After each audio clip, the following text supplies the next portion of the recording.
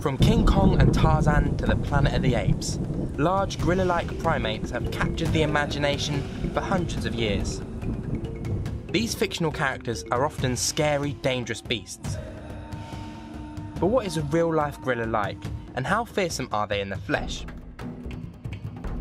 Make no mistake, the male silverback gorilla is huge. They are the biggest primate on Earth, and they weigh over 200 kilograms. That's the same as a fully grown tiger. They are immensely strong too, and unlike us, their arms are thicker, longer, and more muscular than their legs. In fact, they are six times stronger than humans. But how dangerous are they? And do they really eat bananas? In this episode, we're going to find out all about this absolutely amazing animal. Sorry.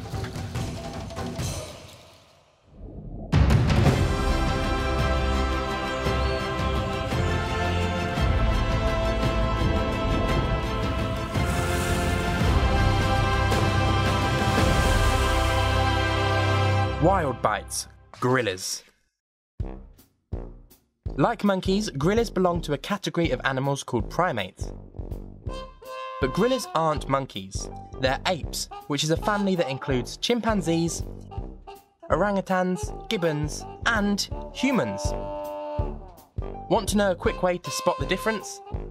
Most monkeys have tails, but like us, gorillas don't. They're also bigger and much more intelligent than monkeys. But we'll come back to that later. Gorillas are only found in Africa, where there are mountain gorillas, which have darker, thicker fur, and lowland gorillas, which are slimmer and more greyish in colour. Both species mainly live in dense forests, but they actually spend the vast majority of their lives on the ground, despite being excellent climbers. Well, most of the time. The silverback, so called because of his silver grey back hair, is the male leader of the gang, or troop, which is made up of a tight knit family group. There is usually only one silverback, along with several females and youngsters. The females tend to only have one baby at a time, and young gorillas are highly dependent on their mothers for the first six years of their lives, while they learn the ways of the jungle. Males become mature at about 8 years old, but they won't grow the greyish hairs on their back quite yet, so they're called blackbacks. At around 13, they become full blown silverbacks, ready to defend their troop from intruders. So, how dangerous are they? Well, in spite of their brute strength and long canine teeth, with gorillas it's more often about intimidation than physical fighting. They like to show off just how strong they are, beating their chest to assert their authority. Occasionally, though, they do come to blows, and they can do some serious damage to each other. Sometimes they even fight to the death. Yet very few humans have ever been attacked, so the reality is that they are much more gentle than they look. But maybe don't rub them up the wrong way. When it comes to gorilla dining, don't let the cartoons fool you. Wild gorillas don't eat bananas, which aren't even native to Africa.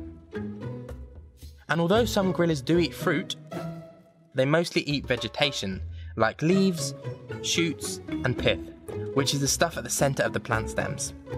That massive dome on their heads is full of muscle for grinding up all that chewy vegetation with their teeth. So it's not all brain up there, but they're certainly highly intelligent animals. Scientists have identified around 25 gorilla vocalizations, which they use to have a bit of a chat. And some captive gorillas have even been taught a form of sign language. This all goes to show that they aren't so different to us after all. And the similarities don't end there. They have 32 teeth in their jaws, which is the same as humans, and they even have unique fingerprints too. In fact, they share 97% of their DNA with us, which makes them one of our closest animal relatives. But unlike us, there are less than 900 mountain gorillas left in the entire world. That's roughly the total number of passengers on two long haul flights. Because of their forest home being cut down, and also because people sometimes kill them for their meat, they are dangerously close to extinction. To make matters worse, being so closely related to us means that they're at great risk of catching human diseases. Let's do what we can to make sure these gentle giants have a safer future.